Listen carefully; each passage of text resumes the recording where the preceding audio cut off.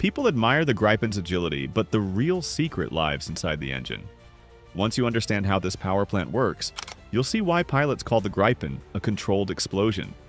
The Gripen E's engine, built with Rolls-Royce influence, delivers massive thrust with incredibly low fuel burn.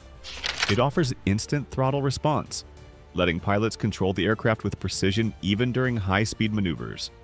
The engine's smart airflow system improves cooling, extends lifespan, and keeps performance stable during long missions.